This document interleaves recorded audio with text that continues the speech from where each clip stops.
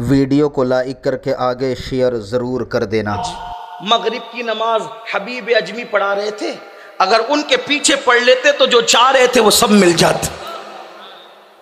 उस दिन एहसास हुआ, क्या तौबा कराने वाला मुर्शिद, तौबा कराने वाला मुर्शिद, तौबा करने वाला मुरीद।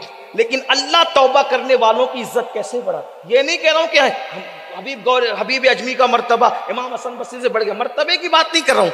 अल्लाह तौबा करने वालों की शान बता रहा है कि तौबा करने वालों को तान मत दिया करो, उन पे लान मत किया करो, उनको ये मत कहा करो कि सौ चुहे खा के बिल्ली हज को चली। ये सारे जाब्ते गंदे तुमने तैयार कर रखे अल्लाह के यहाँ उसकी रहमत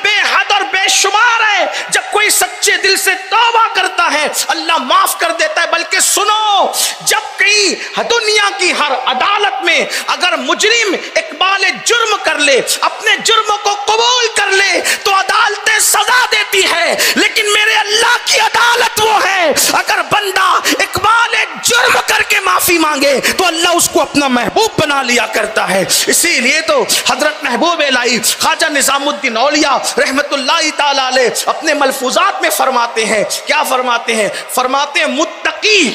और तौबा करने वालों का नाम अमाल। इक्वल होता है, बराबर बराबर होता है। कैसे बराबर होता है? किसी ने कहा, मुत्तकी का नाम अमाल और तौबा करने वालों का नाम अमल। दोनों बराबर बराबर कैसे होता है? तो फरमाते, इसलिए बराबर होता है कि मुत्तकी वो है जिसने कोई गुना किया नहीं।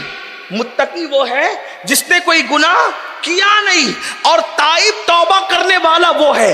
गुना किया तो था, मगर तौबा की वजह से सारे गुना मिटा दिए गए। इसलिए इसका नाम अमाल भी गुना से खाली, उसका नाम अमाल भी गुना से खाली। ये है तौबा की बरकत। तो आइए, ज़िंदगी में नमाजें तर्क हुई हो, ज़िंदगी में कोई बेहयाई का काम हो गया हो, ज़िंदगी के अंदर हराम लुकमा मुँह में चला गया हो, या माज अल्लाह कोई सूद के धंधे में मुबतला हो, या माज अल्लाह किसी ने शराब पिया हो, किसी ने नशा किया हो, किसी ने किसी औरत पर माज अल्लाह ताला जो है वो जुल्म किया, जबर किया, अल्लाह ने तौबा के दरवाजे खोल रखे हैं। सच्ची तौबा करो रब की बारगाह में। सुन्नी दावत इस्लामी का मकसद ये होता है इन महफिलों को सजाने का, ताकि हम अल्लाह की बारगाह में पलटें। रब की बारगाह में रुजू हों। यकीनन आप लोग दूर दूर से भी आए होंगे, नज़दीक से भी आए होंगे। होंगे अलन शरीफ वालों से भी कहता हूँ और आसपास के लोगों से भी कहता हूँ, ये सवाद आज़म, अहले सुन्नत व जमात की आलमगीर तहरीक, सुन्नी दावत इस्लामी,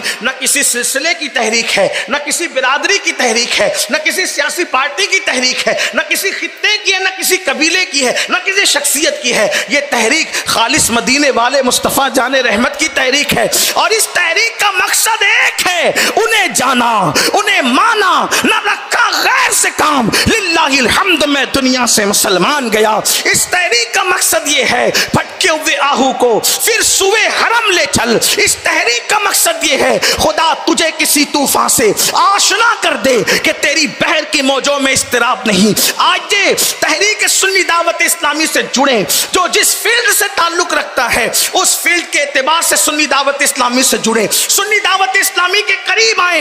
इस तहरीक का मकसद एक ही कि मुस्तफ़ा जान रहमत का इश्क घर घर आम कर दिया जाए। ना गुना करेंगे, ना गुना करने देंगे। ना गुना करेंगे, ना गुना करने देंगे। ना खुद गुना के करीब जाएँगे, ना किसी को गुना के करीब जाने देंगे। अगर लोगों को गुना से बचाने के लिए चाहे जितनी मेहनतें करनी पड़े, चाहे जितनी तकलीफें उठानी पड़े, चाहे हमें कोई रुसवा कर दे, चाहे हमें कोई जलील कर दे, हर दुख उठा सकते हैं, हर तकलीफ़ उठा सकते हैं, हर मेहनत कर सकते हैं। लेकिन मुस्तफ़ा जान रहमत की, इस भोली भाली उम्मत को कभी जराइम के करीब नहीं जाने दे सकते, कभी गुनाहों के करीब नहीं जाने दे सकते। मेरी कौम के जवानों, बेशुमार गुनाहगार दिल हमारा इंतज़ार कर रहे हैं कि कोई आकर उनकी इसलाह करे और उनको मुस्तफ़ा जान रहमत का दर दिखा दे। उनको ले आए। आज ये मेहनत कीजिए। अपनी जवानी का सही इस्तेमाल कीजिए। अपने वक्त का सही इस्तेमाल कीजिए। सुन्नी दावत इस्लामी से जुड़िए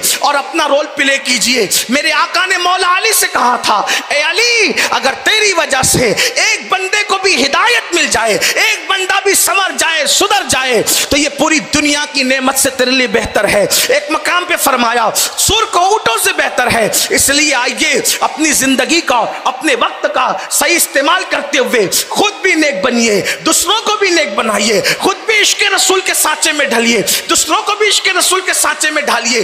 कभी शैतान वसवसा दिलाता है कि मैं नेक नहीं हूँ, मैं किसी को नेकी की दावत कैसे दूँ? तो सुन लो, आप नेक नहीं है, फिर भी लोगों को नेकी की दावत दो। हो सकता है वो नेक काम कर ले और उसकी नेकी की वजह से अल्लाह हमें बख्श दे। ये भी तो हो सकता है। इसलिए आप नमाज़ के दाई बने, आप लोगों को सुन्नत मुस्तफ़ा सिखाएँ। अल्लाह रब्बुल इज़्ज़त की बारगाह में मैं दुआ करता हूँ, अल्लाह हमारी ज़िंदगी में हमसे वो काम ले ले जिससे अल्लाह और उसके रसूल राज़ी हो जाएँ। हमारी ज़िंदगियों में अल्लाह इनकलाब पैदा कर दे। हमें सच्चा मोहम्मद रसूलुल्लाह का गुलाम बना दे। हमें सच्चा वलियों का गुलाम बना दे। हम लोग वलियों की ज़मीन पर रहते हैं, लेकिन रहने के बावजूद भी हम उनसे कोई सीखते नहीं। ये बुजुर्गान दीन कोई मदीन मुनव्वरा से आया, कोई दिल्ली से आया, अल्लाह अकबर कोई कहाँ से आया, कोई ईरान से आया, कोई इराक से आया। या औलिया अल्लाह लोगों को सुधारने के लिए आए और यहीं के हो करके रह गए। हम तो यही रहने वाले लोग हैं। अगर हम मेहनत करेंगे,